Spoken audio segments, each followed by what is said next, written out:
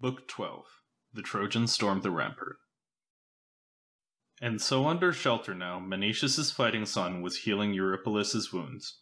But hordes of men fought on, the Achaean and Trojan infantry going hand to hand. The Argive trench could not hold out much longer, nor could the rampart rearing overhead, the wide wall they raised to defend the ships and the broad trench they drove around it all. They never gave the gods the splendid sacrifice the immortals craved, that the fortress might protect the fast ships and the bulking plunder heaped behind its shield. Defying the deathless gods, they built that wall, and so it stood there steadfast no long time. While Hector still lived, and Achilles raged on, and the warlord Priam's citadel went unstormed, so long the Achaeans' rampart stood erect. But once the best of the Trojan captains fell, and many Achaeans died as well, while some survived, and Priam's high walls were stormed in the tenth year, and the Argives set sail for the native land they loved. Then, at last, Poseidon and Lord Apollo launched their plan to smash the rampart, flinging into it all the rivers' fury. All that flow from the crests of Ida down to breaking surf, the Rhesus and the Heptaporus, Caresus and the Rhodius, Granicus and Aesepus, and the shining god Scamander and Simois' tides were tons of oxhide shields and horn helmets tumbled deep in the river silt and a race of men who seemed half god, half mortal. The channels of all those rivers, Apollo swung them round into one mouth, and nine days hurled their flood against the wall, and Zeus came raining down, cloudburst powering cloudburst, the faster to wash that rampart out to open sea. The earth shaker himself, trident locked in his grip, led the way, rocking loose, sweeping up in his breakers all the bastion's strong supports of logs and stones, the Achaeans prized in place with grueling labor. He made all smooth along the rip of the Hellespont and piled the endless beaches deep in sand again, and once he had leveled the Argives' mighty wall, he turned the rivers flowing back in their beds again, where their fresh, clear tides had run since time began. So in the years to come, Poseidon and god Apollo would set all things right once more. But now the war, the deafening crash of battle blazed around the strong built work, and rampart timbers thundered under the heavy blows as Argive fighters beaten down by the lash of Zeus were rolled back, pinned to their beak ships in dread of Hector, that invincible headlong terror. On he fought like a whirlwind, staunch as always. Think of the hounds and huntsmen circling round some lion or boar when the quarry wheels at bay. Rippling in strength as the men mass like a bastion, standing up to his charge, and hurl their pelting spears, and the boar's brave spirit never flinches, never bolts, and his own raw courage kills him. Time and again he wheels around, testing the huntsman's ranks, and where he lunges out, the ranks of men give way. So Hector lunged into battle, rallying cohorts now, spurring them on to cross the gaping trench. But his own rearing stallions lacked the nerve. They balked, whinnying shrill at the edge, the brink a dead stop. Frightened off by the trench so broad the team could never leap it, not at a single bound. Nor could they plunge on through with any ease. Steep banks overhung its whole length, jutting up on either side and topped by stabbing rows of stakes, planted there by the Argives, thick set and huge to block the enemy's onslaught. No light work for the teams that trundled chariots turning massive wheels to make it through in stride, but the Trojans strained to bring it off on foot. So Polydamas stood by headstrong Hector, warning, Hector, and all our Trojan captains, allies in arms. It's madness to drive our teams across that trench, impossible to traverse it. Look, the sharp stakes jutting right at the edge, and just beyond that the Achaeans' sturdy rampart. No room there for charioteers to dismount and fight it out. The strait's too narrow, cramped. We'll take a mauling there. I see it all. If mighty Zeus, thundering up on high, is bent on wiping out the Argives down to the last man. If he longs to back our Trojan forces to the hilt, by heaven I hope the Father works his will at once, and the Argives die here, their memory blotted out, a world away from Argos. But what if they round on us? If the Argives roll us back from the ships, trapped and tangled there in the yawning trench? No runner, I tell you, pressed by an Argive rally, could struggle free and bear the news to Troy. So come, do as I say, and let us all unite. Drivers, rein your horses hard by the trench. The men themselves, armed for assault on foot, we all follow Hector, all in a mass attack. And the Argives, they cannot hold their line. not if the ropes of death are knotted round their necks. So Polydamas urged. His plan won Hector over. Less danger, more success. And down he leapt from his chariot, fully armed, and hit the ground. Nor did the other chariot drivers hold formation. All dismounted, seeing shining Hector leap to earth. Each man shouted out commands to his driver quickly. Rein the team by the trench, good battle order now.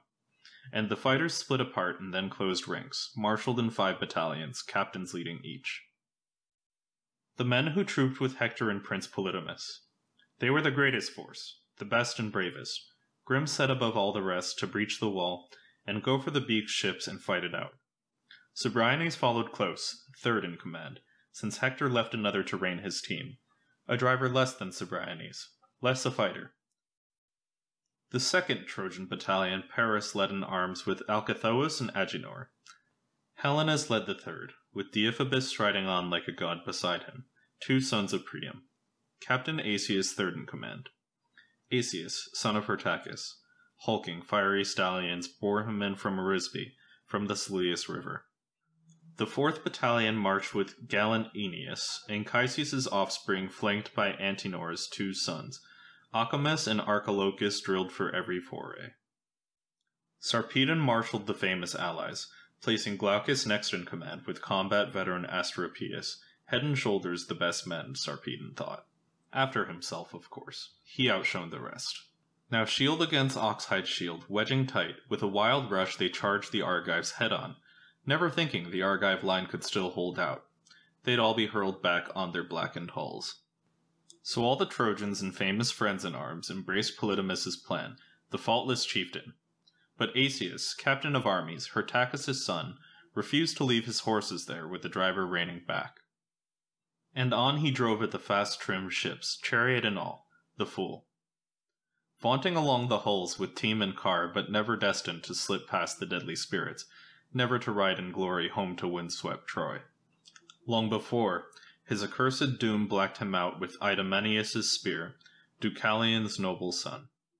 Now left of the ships he sped, where Argive ranks would head home from the plain with teams and cars. Here Asius flogged his team and chariot hard, nor did he find the gates shut, the bolt shot home. Not yet. The men still held them wide, hoping to save some comrade fleeing the onset, racing for the ships. Straight at the gates he lashed his team, hell-bent. His troops crowding behind him shouting war cries, never thinking the Argive line could still hold out. They'd all be hurled back on their blackened hulls. Idiots. There in the gates, they found two men, a brace of two great fighters, lion-hearted sons of Lapith's spearmen. One Pirithous' offspring, rugged Polypoetes, the other Leontius, a match for murderous Ares.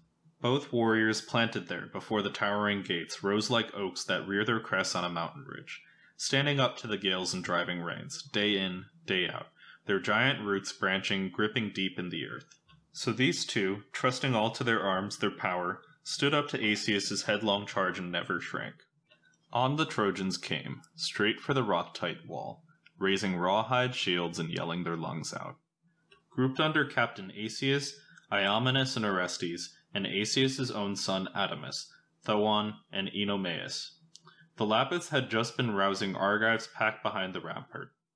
Close in a ring, defend the ships. But soon as the Lapiths saw the Trojans storm the wall, and cries broke from the Argives lost in sudden panic, then the two burst forth to fight before the gates like wild boars a pair of them up on the hilltops, bracing to take some breakneck rout of men and dogs, and the two go slanting in on the charge, shattering timber round about them. Shearing off the trunks at the roots, and a grinding, screeching clatter of tusks goes up till a hunter spears them, tears their lives out. So the clatter screeched from the gleaming bronze that cased their chests as blows piled on blows. Deadly going, fighting now for all they were worth staking all on their own strength and friends overhead as they ripped off rocks from the rampart's sturdy ledge and hurled them down, defending themselves, their shelters, their fast ships. The rocks pelted the ground like snow that a sudden squall in fury, driving the dark clouds, heaps thick and fast on the earth that feeds us all. So the missiles showering from their hands, Achaeans, Trojans, helmets and boss shields clashing, ringing shrilly under the blows of boulders big as millstones. Now with a deep groan and pounding both thighs, Asius, son of Hyrtacus, cried in anguish, Father Zeus, so even you are an outright liar after all. I never dreamed these heroic Argive ranks could hold back our charge, our invincible arms. Look, like wasps quick and pinched at the waist, or bees who build their hives on a rocky path. They never give up their hollow house. They hold on. Keep the honey hunters at bay. Fight for their young. So these men will never budge from the gates, though they're only two defenders, not till they kill us all or we kill them. But his wailing failed to move the heart of Zeus. It was Zeus's pleasure to hand the prize to Hector. Now squad on squad, gate to gate, they fought. But how can I tell it all, sing it all like a god? The strain is far too great. Everywhere round the wall, the surging, inhuman blaze of war leapt up the rocks. The Argives, desperate, had no choice. They struggled now to defend the ships, and the gods were cast down in spirit, all who had urged the Argive soldiers on in battle. But the Lapiths still kept fighting, slaughtering on. There, Pirithous' son, the rugged Polypoetes, skewered Damasus, pierced his bronze-sided helmet. None of the bronze plate could hold it. Boring through the metal and skull, the brazen spear point pounded. Damasus's brains splattered all inside his casque. Polypoetes beat him down despite the Trojans' rage.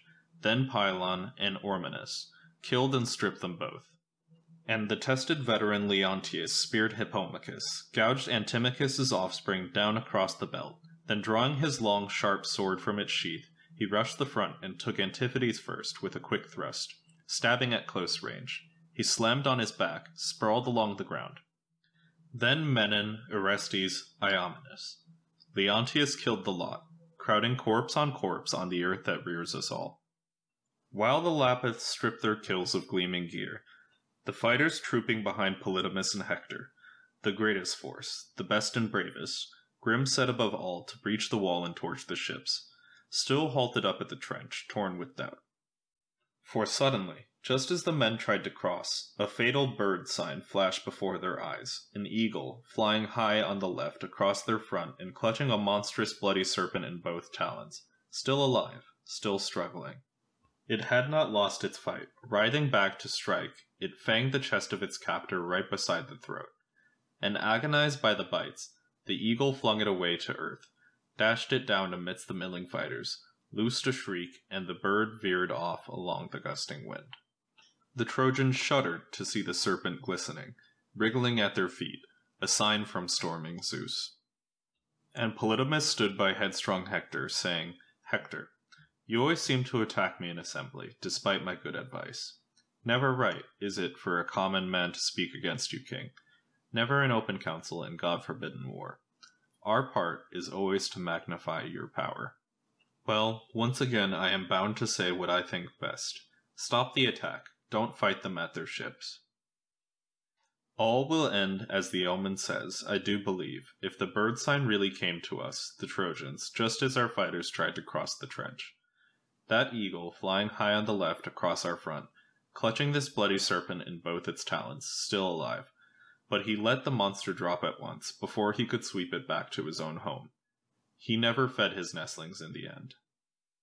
Nor will we, even if we can breach the Argives' gates and wall, assaulting in force, and the Argives give ground, back from the ships will come, back the way we went, but our battle order ruined. Whole battalions of Trojans left behind and killed. The Achaeans will cut us down with bronze to save their fleet.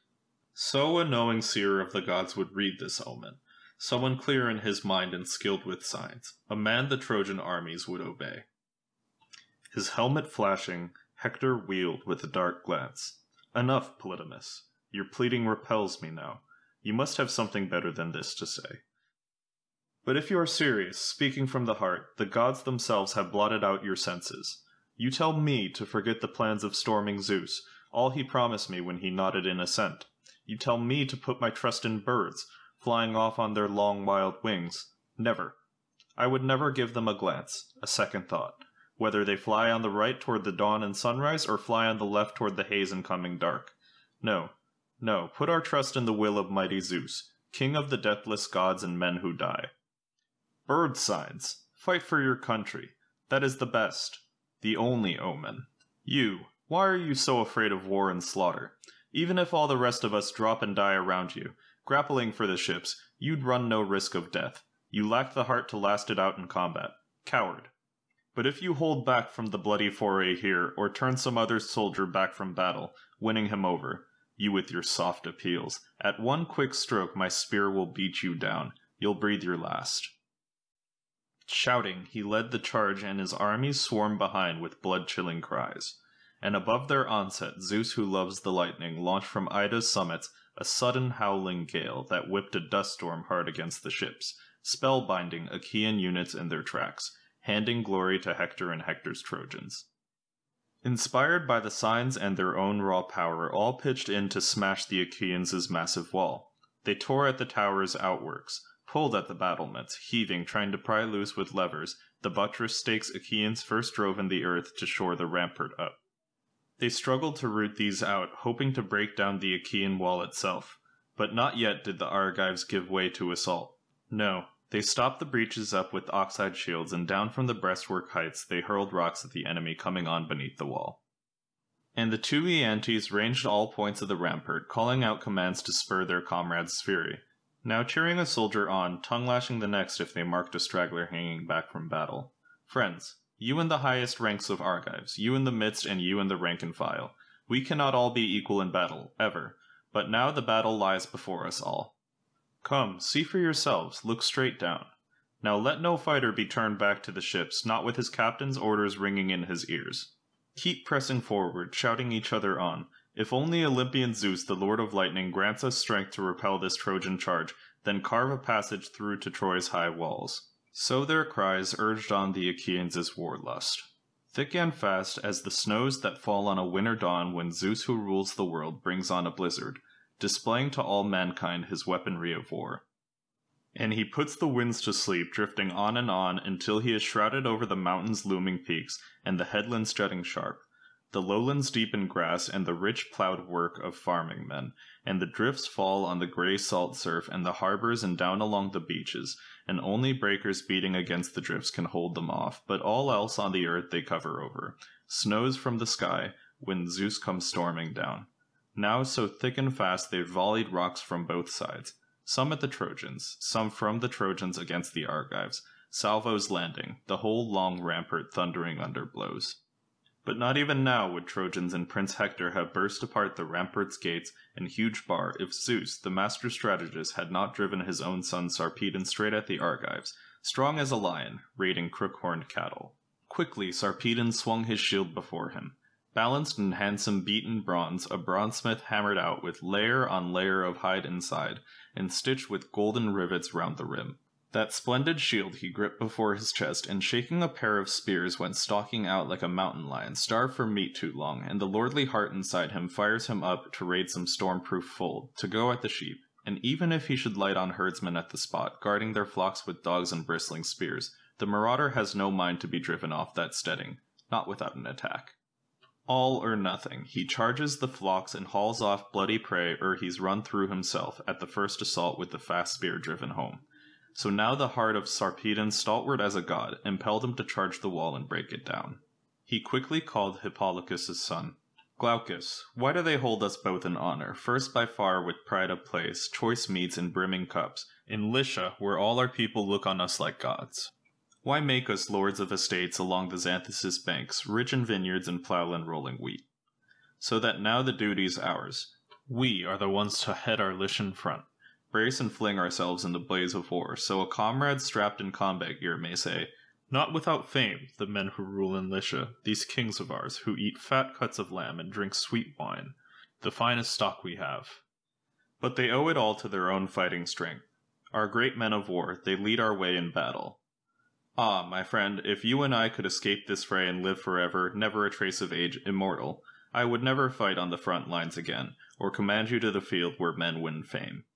But now, as it is, the fates of death await us, thousands poised to strike, and not a man alive can flee them or escape. So in we go for attack, give our enemy glory, or win it for ourselves. Glaucus did not turn back or shun that call. On they charged, leading the Lycians' main mass, and Peteus' son Menestheus cringed to see them heading straight for his bastion, hurling ruin on. He scanned the Achaean rampart. Where could he find some chief, some captain to fight disaster off his men? He spotted the great and little Ajax, gluttons for battle, flanking Teucer fresh from his shelter, side by side. But Mnestheus could not reach them with a shout. The din was deafening, war cries hitting the skies, spears battering shields and helmets horsehair crests, and the huge gates all bolted shut. But against them there the Trojans tensed and heaved, trying to smash them down and force a passage through. At once Mnestheus sped a herald to Ajax. Run for it, quick one, call great Ajax here. Both of them, better yet. That's best of all. Headlong ruins massing against us quickly. Lycia's captains are bearing down too hard, fierce as they always were in past attacks. But if fighting's flaring up in their own sector, at least let the rugged giant Ajax come alone with Teucer the master archer at his side. A brisk command, and the runner snapped to it. He dashed along the wall of the Argive men at arms till he reached the two Aeantes, stopped and shouted. Ajax, Ajax, chiefs of the Argives armed in bronze, the favorite son of Peteus, dear to immortals, needs you at his strong point. Hurry. Come, just for a moment, meet the crisis there. Both of you, better yet, that's best of all. Headlong ruins massing against us quickly. Lycia's captains are bearing down too hard, fierce as they always were in past attacks. But if fighting's flaring up in your own sector, at least let the rugged giant Ajax come alone with Teucer the master archer at his side. And Telamon's giant son agreed at once. He called out to his smaller, faster brother with orders flying. Ajax, you stay here. You and the burly Lycomedes stand your ground. Keep our Danaans fighting here with all they've got. I'm on my way over there to meet this new assault. I'll soon be back, once I've helped our friends. And with that Telamonian Ajax strode off with his brother Teucer, his own father's son, and Pandion cradling Teucer's long curved bow. Holding close to the wall, they picked their way until they reached the brave Mnestheus' bastion. There they found the defenders packed, hard pressed, as the Lycians' stalwart lords and captains stormed like a black tornado up against the breastworks. Both men flung themselves in attack, the war cries broke. And Telamon's son was the first to kill his man, Sarpedon's comrade, Epicles, great with heart. He brought him down with a glinting, jagged rock, massive, top of the heap behind the rampart's edge. No easy lift for a fighter even in prime strength, working with both hands, weak as men are now. Giant Ajax hoisted it high and hurled it down, crushed the rim of the fighter's four horned helmet, and cracked his skull to splinters, bloody pulp. And breakneck down like a diver went the Trojan, plunging off and away from the steep beetling tower as life breath left his bones. And Glaucus next. Hippolochus's brawny son was scrambling up the wall when Teucer's arrow winged him from high aloft, just where he saw his shoulder blade laid bare, and stopped his lust for battle. Down he jumped from the wall in secret, fast, so no Achaean could see him hit and bellow out in triumph. Soon as he noticed Glaucus slipping clear, the pain overcame Sarpedon, but even so he never forgot his lust for battle. He lunged in with a spear at Thestor's son Alcmaeon, stabbed him, dragged out the shaft as the victim, caving into the spear's pull, pitched headfirst and his fine bronze armor clashed against his corpse. And Sarpedon, clawing the rampart now with powerful hands, wrenched hard and the whole wall came away, planks and all, and the rampart stood exposed, top defenses stripped. Sarpedon had made a gaping breach for hundreds.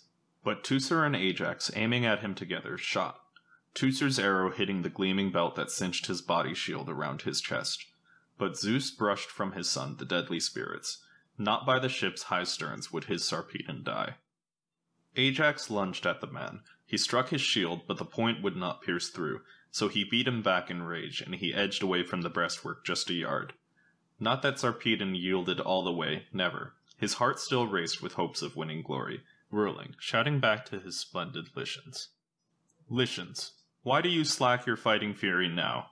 It's hard for me, strong as I am, single handed, to breach the wall and cut a path to the ships. Come, shoulder to shoulder. The more we've got, the better the work will go. So he called, and dreading their captain's scorn, they bore down fiercer, massing round Sarpedon now. But against their bulk the Argives closed ranks, packed tight behind the wall and a desperate battle flared between both armies. Lycian stalwarts could not force the Achaeans back, breach their wall, and burst through to the ships, nor could Achaean spearmen hurl the Lycians back, clear of the rampart, once they'd made their stand. As two farmers wrangle hard over boundary stones, measuring rods in hand, locked in a common field and fight it out on the cramped contested strip for equal shares of turf. So now the rocky bastions split the troops apart, and across the top they fought, hacked at each other, chopped the ox hides round their chests, the bucklers full and round, skin shields, tassels flying. Many were wounded, flesh ripped by the ruthless bronze whenever some fighter wheeled and bared his back, but many right through the buckler's hide itself. Everywhere. Rocks, ramparts, breastworks swam with the blood of Trojans, Argives, both sides. But still the Trojans could not rout the Argives. They held tight as a working widow holds the scales, painstakingly grips the beam and lifts the weight and the wool together, balancing both sides even, struggling to win a grim subsistence for her children. So powerful armies drew their battle line dead even, till at last Zeus gave Hector, the son of Priam, the greater glory. The first to storm the wall. Hector loosed a piercing cry at his men. Drive, drive, my stallion breaking Trojans. Breach the Achaean rampart, hurl your fire now, a blazing inferno of fire against their ships. So he cried, driving them on, and all ears rang with his cries, and a tight phalanx launched straight at the wall, brandishing sharp spears, swarming the bastions as Hector grappled a boulder, bore it up and on. It stood at the gates, huge, blunt at the base but spiked to a jagged point, and no two men, the best in the whole realm, could easily prise it up from the earth and onto a wagon, weak as men are now.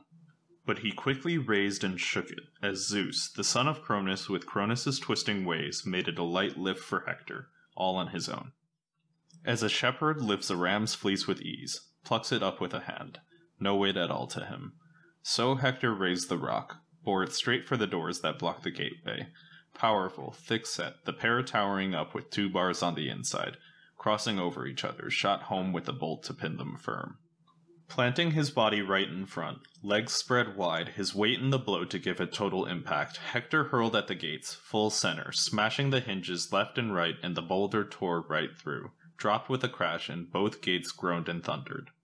The door bars could not hold, the planking shattered up in a flying storm of splinters under the rock's force, and Hector burst through in glory, his face dark as the sudden rushing night, but he blazed on in bronze, and terrible fire broke from the gear that wrapped his body, two spears in his fists. No one could fight him, stop him, none but the gods, as Hector hurtled through the gates and his eyes flashed fire. And whirling round, he cried to his Trojans, shouting through the ruck, The wall! Storm the wall! They rushed to obey him, some swarming over the top at once, others streaming in through the sturdy gateways. Argives scattering back in terror, back by the hollow holes, the uproar rising, no way out, no end.